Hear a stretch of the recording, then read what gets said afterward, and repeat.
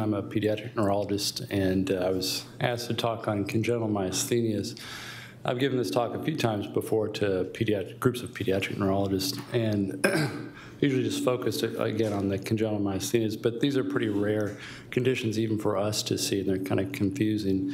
And I know I'm speaking to a broader group, so I thought I'd expand it a bit to kind of shed light. And these are neuromuscular junction disorders, and I thought I'd cover myasthenia gravis a bit just in review to kind of refresh your knowledge about the neuromuscular junction and how it works, as well as the, uh, the most common disease that affects it to kind of help you ease into the more esoteric uh, genetic forms of congenital myasthenia.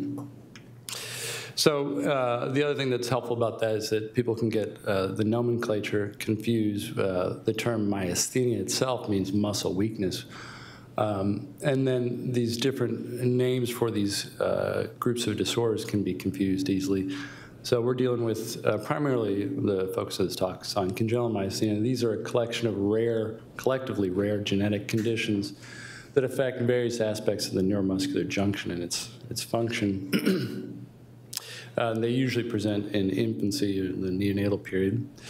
Then the more common disorder, which we'll cover uh, in brief, myasthenia gravis, is an acquired condition of autoimmune etiology uh, where antibodies affect the function of the neuromuscular junction uh, and lead to weakness, uh, more often in, in later childhood or adulthood, as we'll see. And then there's a term neonatal myasthenia, and this is easily confused with the term congenital myasthenia, but it means something different. Uh, this is a unique situation where a mother has myasthenia gravis, the autoimmune disorder, either knowingly or, or an occult uh, form of that where she doesn't know she has the, the condition, but she passes the uh, pathologic antibodies to, uh, across the placenta to the child, and the child's born with some degree of weakness because the antibodies are in the system there. This is a transient condition as the child's not producing the antibodies. Once the antibodies pass, uh, through the system, uh, they resolve, but still they're symptomatic and they require similar treatment as uh, myasthenia gravis and can be confusing and can be confused with congenital myasthenia. So it's helpful to kind of review these terms. Uh, as well, there's a lot of overlap between the way we diagnose uh, these disorders, their treatments, uh, and aspects of their pathophysiology. So I think it's helpful to kind of review the the neuromuscular junction disease that uh, most people are, at least have some uh, clinical familiarity with. So I'd also like to just go over basic neuromuscular junction anatomy and, and physiology. So uh, at the motor nerve, a nerve impulse comes down uh, to the, um, the nerve terminal where there's acetylcholine in vesicles. This uh, nerve impulse leads to release of those vesicles, the, the contents being acetylcholine, into the, into the synapse. Uh, this crosses the synapse and binds to the acetylcholine receptors on the postsynaptic muscle membrane. the binding leads to an opening of the uh, ion, central ion channel in the center of the receptor, which leads to current flow through the channel and leads to depolarization of the muscle. If the depolarization is enough uh, to, to uh, go over the, the threshold that leads to muscle contraction. Uh, and then the final part of it is uh, through a separate ion channel, there's repolarization to back to the resting potential. And all these are important steps. Uh, and in the congenital myasthenias, as we'll see, there's potential lesions, if you will, uh, at each step that can cause a disease. so just a schematic of the same thing. We can see at the top there, acetylcholine is formed from choline and acetyl-CoA uh, via this CHAT uh, enzyme, which is important in one of the uh, myasthenias. And then it's uh, bound in vesicles, and when, the, when there's an electrical impulse down the motor neuron, it's released into the synapse, crosses the synapse uh, to the neuromuscular junction, to the um, rather to the postsynaptic membrane, to the acetylcholine receptor, which has multiple uh, associated proteins that are important, again, in the myasthenias for its function. It's subsequently uh, uh, broken down by acetylcholine esterase, which is an important enzyme both in uh, our understanding of the treatment of these uh, disorders, but as well one form of congenital myasthenia. And then this channel down there at the bottom of the of the uh, picture there on the membrane is the repolarization channel, uh, and that's important in one form of congenital myasthenia as well. So just kind of giving a real rough, basic overview of myasthenia gravis. Uh, it's a fairly common disorder, about 20 per 100,000 uh, patients. It's more common in adults, but about 20% of cases are pediatric in onset. Uh, they behave, they can behave a little bit differently, as we'll see. Um, and pre-puberly, uh, patients, um, it's thought to be a equal distribution between uh, male and female, uh, but post-puberty, uh, there's an increased risk uh, for females to uh, develop the disorder. This is only, the only caveat is in African American populations, it's a constant female to male predominance despite the age. so clinical features for myasthenia gravis, uh, most patients present uh, with sudden onset of ptosis or diplopia, but they can develop facial bulbar weakness, uh, which can be involved in chewing and swallowing difficulties. And then oftentimes they progress to develop generalized uh, weakness with proximal greater than distal distribution. Uh, and typically, weakness worsens towards the end of the day with repetitive use, and there can be rapid fluctuation. And about 15% of patients uh, have uh, what's known as ocular myasthenia with involvement just of the eyelid and extraocular muscles. Uh, associated conditions, uh, so in pediatric myasthenia, there's about an 80% risk for having thymic hyperplasia or thymoma, and we'll see uh, the importance of that. This can be, hyperplasia and hypertrophy can be seen on CT or MRI of the chest. Uh, there's also an increased risk for thyroid disease, which kind of speaks to its autoimmune uh, etiology. So the basic pathophysiology, the antibodies that are present uh, destroy the acetylcholine receptors at the neuromuscular junction. they lead to a reduction in the number of the receptors, but they can also directly block transmission in the receptors that are still present. And microscopically, we see a simplification of the postsynaptic membrane uh, with the folding pattern, uh, an increased gap between the axon and muscle membrane, and a decrease in receptor density. Um, so the diagnosis is primarily clinical. Um, there are uh, various uh, antibodies that are um, available for, for testing. These are less uh, detectable, uh, less likely detectable in pediatric cases, particularly uh, in pre-puberty. so about half patients in one study uh, that were uh, prepubertal uh, had the presence of antibodies with generalized myasthenia. And then peripuberty and post-puberty become much more sensitive um, ocular myasthenia, they're uh, less often present as well as with mild generalized myasthenia. Uh, electrodiagnostics um, are important in the diagnosis. Uh, repetitive nerve stimulation, uh, which is commonly done on the median nerve uh, using three to five cycles per second, uh, is a, a, common test performed to, to support your clinical diagnosis. And if you get a reduction of more than 15% of the compound, compound muscle action potential, it's considered diagnostic. But uh, false negatives are not uncommon, particularly in ocular myasthenia, and it can be technically difficult in, in young kids uh, who don't tolerate this study very well. Uh, the tensilon test, um, when it's done properly, uh, is uh, fairly useful. It can be positive up to 90% of cases, um, you need to, before a test, you need to pick a, an objective kind of outcome, meaning uh, what are you going to assess as the response clinically to, to this medication that you're given IV. So ptosis is a nice one. It's pretty easily observable uh, to de determine if there's a positive response. Um, with elimination being a positive response. And you should be uh, doing this with a, uh, a double with a placebo, so a kind of a double-blinded placebo-controlled trial. As well, you want to give an initial test dose of the of the medication, uh, which is pyridostigmine. I'm sorry, um, and um, this is in part uh, to make certain if you're dealing with a congenital myasthenia, you don't get some uh, terrible reaction. Um, and then this is followed by a full dose. You need to have atropine available in case there's uh, respiratory depression with this, which is a possibility. Um, and you should see a positive response if you're going to see one within seconds to a few minutes. So to treatment with myasthenia gravis, um, Many patients require lifelong treatment. Uh, the caveat is that uh, it's not terribly uncommon for some children to have spontaneous remission during the first few years. Um, and the primary medications are anticholinesterase drugs. Uh, is uh, the first-line treatment in children uh, that don't have respiratory compromise.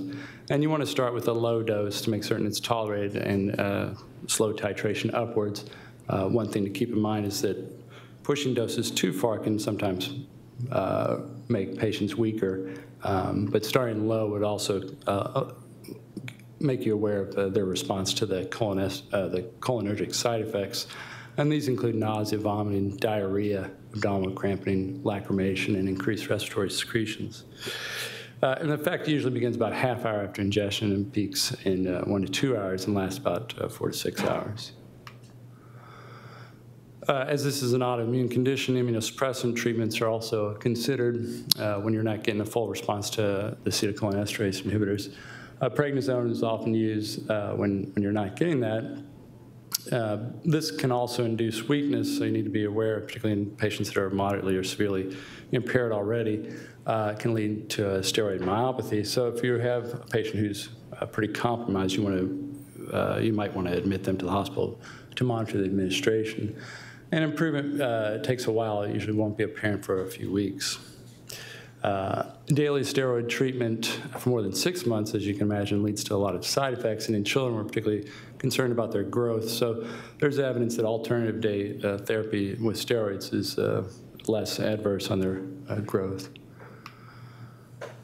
Other immunosuppressants, azathioprine, can be used in refractory cases. Uh, the onset of effects, not for several months. You need to monitor white blood cell counts there's a risk for as a carcinogen with prolonged use, and there's a low teratogenic effect. As well, cyclosporin can be used. It's thought to be equally as effective as azathioprine, but has a more rapid onset. You need to monitor renal function with this medication. IVIG can be used, particularly in the acute setting. Uh, most of the trial data comes from adults.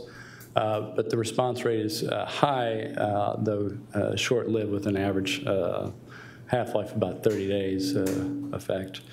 And then plasma exchange is another acute type of treatment. it gives much more rapid improvement, it lasts between three and five weeks. Uh, and something you consider in a hospitalized patient, uh, maybe ones that are awaiting thymectomy during an acute attack.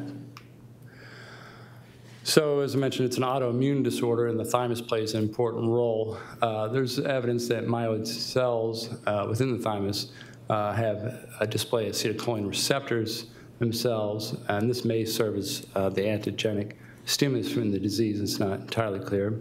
Uh, the thymus, also contains uh, autoreactive T cells.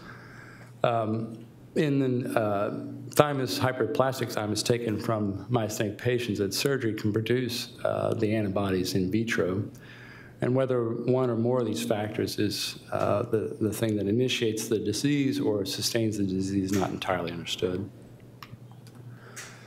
But uh, thymectomy is an important consideration, particularly in younger patients. Uh, it's well accepted treatment for, for young patients, pediatric patients with autoimmune myasthenia. And this is despite uh, really good uh, data um, uh, or definite explanation for its effectiveness. Uh, there was one matched retrospective study which found an increased remission of myasthenic symptoms following thymectomy, and there's several unmatched studies that have reported similar outcomes. And it appears that the sooner you do the thymectomy, uh, the more uh, effective it is. So the recommendation is uh, to, to, for it to be done the, within a year after onset of symptoms. And results appear to be proportional to the amount of thymus that's removed. Uh, so symptoms are, uh, the more you take out, the uh, bigger improvement in symptoms you see. So that covers the autoimmune myasthenia gravis, just kind of as a refresher for neuromuscular junction disease. So we'll talk about the congenital myasthenias. Uh, again, these are genetic conditions and fairly rare, uh, even for pediatric neurologists. So we think of these as sort of white whales. Um, so the genetic disorders affect the neuromuscular junction. Uh, they all share fatigable weakness as a clinical uh, characteristic, but uh, discrete syndromes have uh, their own unique phenotype. We'll try to talk about that and things that you can use to pick out individual uh, syndromes. I originally uh, put this part of this talk together at least about two years ago, and back then uh, there were 16 genes identified. Now there's 24 genes implicated uh, this far in, in congenital myasthenic syndromes. Uh, most of these are present at birth or early infancy, although there's subtypes that present in childhood and even into adulthood. So these are rare, they're likely underdiagnosed. Uh, the prevalence of genetically confirmed disease is about four per million, and they're largely recessive. There's, uh, there are uh, dominant disorders, but the vast majority of these are recessive. So you don't necessarily expect to, to hear a family history to support the, the diagnosis unless it's a sibling potentially. Uh, pathophysiology, so there's kind of four areas that can be affected. Uh, and the first one is mutations that affect signal transmission. This is primarily the production of acetylcholine. Uh, and then you can have mutations in the gene encoding for key proteins in the development or the function of the receptor, the acetylcholine receptor. That's the biggest group, uh, and they make up the biggest number or biggest percentage of patients. You can have mutations in the acetylcholine esterase, the enzyme, um, so where you get faulty breakdown of acetylcholine at the receptor, which leads to weakness. And then you can have mutations in the, uh, the channel that's involved in repolarization of the muscle membrane. That's after contraction to get back to your, your resting uh, potential that that uh, channel is not working in this form of congenital myasthenia. So the same schematic we looked at before, just kind of go back over. So there's kind of four areas you can have lesions, if you will. So the production of the of the neurotransmitter acetylcholine, and that's primarily due to this CHAT enzyme that's involved in the uh, formation of the, the chemical acetylcholine. Uh, you can have uh, a problem at the receptor or its associated proteins, and there's a, uh, the, the majority of mutations are involving this, uh, this part of the, of the um, system. Uh, and then you can have acetylcholine esterase uh, mutation, so problems breaking down acetylcholine. And then the number four is the repolarization uh, mechanism can be affected.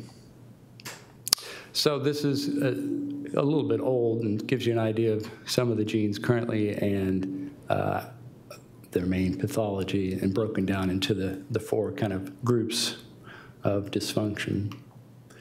And this is uh, an idea, this is probably uh, a little dated at this point, um, but three of the uh, genes identified, and these are all postsynaptic uh, support uh, support proteins for the receptor or the receptor itself make up the vast majority of these cases. That's the acetylcholine receptor, epsilon subunit, rapsyn, and DOK7. So those really are the most important to have some clinical knowledge of, but uh, there's a lot, a lot of uh, other ones that make up the, the rest. So, uh, so individual syndromes of uh, congenital myasthenia, uh, myasthenia and diagnostic clues. We'll go from uh, kind of the, the first lesion to the fourth lesion and talk about the, the most common uh, mutations and how they present. So presynaptically, there's a choline uh, acetyltransferase deficiency, that's the CHAT enzyme. Uh, these patients present with sudden episodes of respiratory distress, apnea, bulbar weakness, and this is often precipitated by infection. Uh, they're relatively strong in between uh, these crises. Uh, it's apparent from birth uh, and continues episodically. and these patients can be normal at birth and then develop apneas later as well. ptosis is typical, but ophthalmoplegia is, is absent in this condition. And if we go to the synapse, I'm doing this a bit out of the order I, I numbered them on the schematic, but uh, if we go to acetylcholine esterase deficiency, or the, uh, the gene is called COLQ, uh, this leads to loss of acetylcholine esterase, the uh, enzyme that breaks down acetylcholine at this synapse. This leads to a prolonged lifetime of acetylcholine and its uh, activation, which leads to depolarization blockade detectable on EMG. So this is a lot like giving succinylcholine, uh, if you will, uh, eventually uh, you overexcite the muscle as well, besides causing weakness acutely. This prolonged excitation because of prolonged stimulation of the, of the receptor leads to an, a secondary excitotoxic myopathy. This is not the only uh, one of these uh, mutations that leads to this type of a secondary uh, progressive myopathy, and we'll see that. These patients present with severe and progressive weakness from birth or early infancy, uh, and respiratory involvement is common with respiratory crises and or chronic hypoventilation. Ophthalmoplegia and ptosis are common, but uh, they're variably present. And treatment is with oral salbutamol or ephedrine, and uh, these patients can worsen with pyridostigmine, and this can be severe. Um, postsynaptically, again, uh, these are the, the, mutations that affect the function of the receptor um, and make up the vast majority of cases. Uh, and I'll just cover three of them, the acetylcholine receptor uh, mutation involving the epsilon uh, subunit, rapsyn, and DOK7. So the acetylcholine receptor deficiency is the uh, most common form of congenital myasthenia. Uh, most patients present with feeding problems, ptosis at birth or infancy. The epsilon subunit, which is affected, replaces the fetal gamma subunit of the acetylcholine receptor during late gestation. Um, and, but there's continued lifelong low-level fetal receptor type uh, production, and this accounts for why these patients still survive because they still have some of the uh, gamma subunit functioning. Ophthalmoplegia is uh, invariably present uh, and severe, but usually develops within the first year, and it's not present at birth. Um, and usually it's a, a stable uh, long-term course, but it can worsen intermittently with illness. It responds well to pure pyridostigmine, the main treatment for, as we saw, myasthenia gravis, uh, with or without uh, the addition of a drug called 3,4-DAP. Rapsyn mutation. Um, so rapsyn is a, a, a, protein that helps the clustering of the acetylcholine receptors on the postsynaptic membrane. These patients present with neonatal respiratory weakness, feeding difficulty, generalized hypotonia, and mild arthrogryposis. They can have a, a facial dysmorphism of a high arch palate due to akinesia. That's not terribly specific to, uh, to this. That's uh, often seen in, in, neuromuscular diseases that are congenital. Um, they can have, uh, they tend to have generalized weakness, ptosis, and strabismus, but rarely have ophthalmoplegia. Uh, they have frequent acute life-threatening uh, crises with respiratory failure in infancy and early childhood with infection and they also respond well to pyridostigmine and 3,4-DAP. The long-term prognosis is good with decreasing respiratory events during childhood and resolving around the age of seven years. Uh, and many of the adult patients can uh, reduce or stop treatment. That's a bit unique about that condition. Um, the DOK7 is the third postsynaptic uh, protein I was going to cover. Uh, it presents with deterioration in walking after reaching normal milestones. So a bit different than some of these other ones with a later presentation, and can but can present earlier with uh, respiratory weakness, feeding difficulties in stridor and infancy. Um, the weakness is uh, generally in a limb girdle distribution with facial muscles affected, leading to what's called a myasthenic snarl. Uh, ptosis, uh, but not uh, ophthalmoplegia and tongue wasting are, are noted, so you don't get the ophthalmoplegia. Um, and it's slowly progressive. It's possibly, again, due to a secondary myopathy. My, a muscle biopsy in that regard shows mild nonspecific changes. Pyridostigmine uh, will typically worsen symptoms and it needs to be avoided. 3, 4 DAP can help, but uh, some patients show a significant deterioration with this, so it's a bit tricky.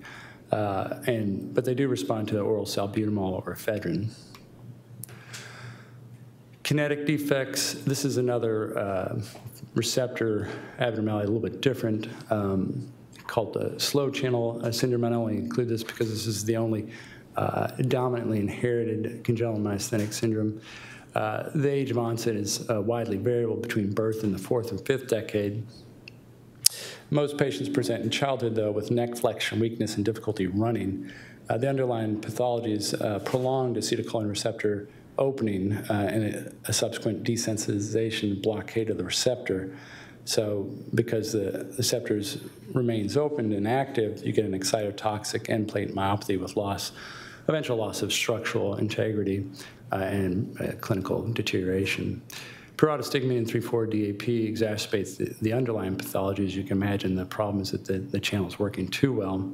So treatment is with uh, fluoxetine or uh, quinidine, uh, since these act to uh, block open channels. And then the fast channel syndrome, this is the, one of the uh, mutations that affects the repolarization of the muscle membrane. And it's the most severe form of congenital myasthenia, uh, and uh, it's associated with life-threatening acute crises on a background of severe generalized weakness. Uh, It presents from birth with respiratory failure, feeding difficulties, generalized hypotonia. Ptosis and ophthalmoplegia are invariable and severe. Feeding difficulties, difficulties persist into childhood, necessitating a PEG placement for feeding. Uh, and they have episodic apneas, chronic hypoventilation, and require non-invasive ventilation at home. Uh, pyridostigmine and 3,4-DAP can help, but this can uh, wear off after initial striking re- response. Uh, So neurophysiology, the neurodiagnostics for these conditions, um, they're similar to myasthenia gravis. Uh, You can have what's called increased jitter if you can get someone to do a single fiber EMG, uh, but it can be normal in unaffected muscles. Uh, And again, repetitive nerve stimulation shows a decrement of the compound motor uh, action potential in these cases. Um, Single fiber EMG is more sensitive, but less specific than repetitive nerve stimulation. Uh, The big issue is finding someone who's good at this and, you know, available. uh, So a pediatric neuromuscular person, uh, and they're uh, not often uh, around. So it's great if you can get it, but oftentimes that's kind of the bottleneck in the, in the diagnosis. And the differential diagnosis is uh, rather large, so it includes autoimmune myasthenia, and depending on the scenario, in a, in a neonate, that would be the neonatal myasthenia, and you know, investigate with uh, antibodies and uh, electrodiagnosis, as well as mom's history if, if she has a diagnosed myasthenia. It's pretty straightforward. Congenital myopathy, mitochondrial disease leading to a metabolic myopathy, congenital cranial dysinnervation disorders or acquired cranial nerve palsies, usually in the neonate. You can have congenital fibrosis of the extraocular muscles, which leads to ophthalmoplegia, spinal muscular atrophy, so an anterior horn cell disease, Prader-Willi syndrome, which is a uh, genetic syndrome which presents with uh, hypotonia and feeding dysfunction, uh, and congenital myotonic dystrophy, which also leads to a similar picture of hypotonia and feeding dysfunction. So it's rather broad and not really inclusive of, of all the other things you might consider uh, in the differential diagnosis. And, you know, if you put congenital myasthenia on the list and, and compare the, the prevalence, it would be the, the least common probably of all those things. So it's, it's really something we, we think about, uh, but rarely diagnose and have difficulty kind of investigating uh, until recently. Um, so the, the general consult for us and picture that we see is rather vague. We get a consult most often from the NICU about a neonate with hypotonia, respiratory, and bulbar problems. Uh, again, if we look back at that, the differential diagnosis is quite long. Um, and so, you know, only one of the things is congenital myasthenia. It's often uh, a process of elimination, uh, particularly if you're relying on EMG uh, that's not readily available. Uh, it's just something that you consider and oftentimes don't even broach the subject. But so these symptoms are fairly common in the NICU and nonspecific hypotonia, respiratory bulbar symptoms, uh, and uh, making matters a little more difficult. Assessing muscle strength at times is difficult, and um, the neurophysiologic study is the best way to determine whether this is even a neuromuscular junction problem, which is often not available. Um, but features that might uh, tip you off that you're dealing with congenital myasthenia um, in a neonate or infant. So generalized hypotonia, kind of nonspecific ptosis, a little bit more uh, to pique your interest in that, ophthalmoplegia, recurrent apneas, uh, hypoventilation, and feeding difficulties. Less common, but kind of more pointed to specific syndromes, uh, bulbar weakness, progressive, progressive generalized weakness. So the disorders that have a secondary myopathy are often progressive. Stridor uh, is seen in the, the DOK7 mutation. Dysmorphic features, as I said, it's not terribly specific, but might make you think of rapsyn. Arthrogryposis as well for rapsyn. Uh, and then features to consider in older patients, so outside the NICU, you know, in first decade or even older. Um, so if you have a patient with a, a chronic neuromuscular disorder of unknown etiology, uh, and they have a kind of a secondary uh, progressive uh, course, if you will, with a with a myopathy. Uh, with neurophysiology that suggests neuromuscular junction, you can think of the slow channel Lecoq Q mutations a limb girdle presentation, myasthenic snarl, uh, particularly with tongue wasting, would make you think of DOK7, Neck flexion weakness in a young child, the slow channel mutation. Problems running, again, slow channel mutation. The development of ophthalmoplegia should make you think of one of these. There's a, you know, certainly a, a list of other uh, disorders to consider in that situation as well. Uh, continuation or resolution even of the apneic events uh, with infection for a lot of these, but the resolution uh, over the first decade would make you think of rapsyn mutation. Um, and that's just kind of a, a, similar kind of thing to identify the unique phenotypic expressions of these different uh, genes. So workup for that same patient with the hypotonia, bulbar dysfunction, and respiratory problems would be broad, um, CK, metabolic workup, MRI, brain and spine, uh, brain disease is the most common cause of hypotonia in a neonate. Uh, acetylcholine receptor antibodies to look for neonatal vertical transmission uh, of maternal disease, uh, spinal muscular atrophy, uh, Prader-Willi and congenital myotonic dystrophy genetic testing. And then if you have the uh, capability to get an EMG nerve conduction with repetitive nerve stimulation, single fiber EMG, just to identify that it is a neuromuscular junction disorder. Would be great. Uh, Tensilon testing as well in a controlled setting is useful. And then genetic workup. Uh, when I trained, this wasn't even a consideration, the genetic workup. It was getting um, a muscle biopsy, fresh tissue, and it's sent to a lab, and they can do electrodiagnostics and, and um, immunostain to look for specific uh, protein abnormalities. Uh, in three years of fellowship, we never did that. Uh, and I, I, can't recall ever actually even getting uh, a nerve conduction study to, to investigate this uh, as best I remember. But uh, So it's become much more feasible. Now I just reviewed um, the availability of these tests, and there's gene chips that uh, cover 16 of the, of the uh, known genes, relatively cheap and straightforward uh, assessment of the common mutations. So uh, that's really changing this whole diagnostic conundrum. Uh, but you still have to kind of whittle down to, to, to the point that you think it's a neuromuscular disease.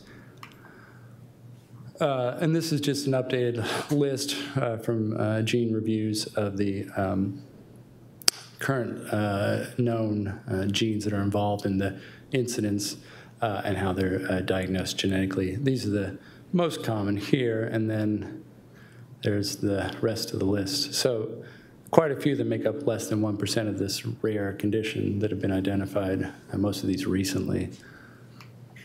Uh, treatment, uh, again, there's some overlap, at least in some cases, uh, uh with uh, myasthenia. So cholinesterase inhibitors and 3,4-DAP are used in a lot of these conditions. These increase end plate potential amplitude. The cholinesterase inhibitors, they prolong the lifetime of the acetylcholine at the end plate, so increase the uh, likelihood of, uh, of uh, muscle contraction, depolarization. And the 3,4-DAP, which I didn't mention its function before, but it works pre presynaptically at the potassium channels uh, as a blocker. This leads to increased release of acetylcholine at the synaptic cleft. Uh, the two drugs are often used together. Uh, and is used in slow channel uh, syndrome, COL-Q, DOK7. I'm sorry, the, uh, these are the ones that those can, can worsen rather, um, but used in a lot of the conditions as I mentioned before. Uh, and then ephedrine and oral salbutamol. Uh, these uh, stimulate muscle uh, beta receptors, which leads to stabilization of the postsynaptic architecture. And these are uh, used in DOK7 and COL-Q. Uh, the response can be dramatic, um, even when it started later in, in childhood or adulthood. Uh, and then some of the other subtypes uh, have shown to found some benefit with these. And then lastly, uh, fluoxetine quinidine and slow channel syndrome. So Uh, The primary pathogenic mechanism is an abnormally prolonged opening of the central ion channel pore in the receptor. And both of these um, block open channels uh, and bind the channel in its open state, therefore uh, reducing the channel activity uh, and open time.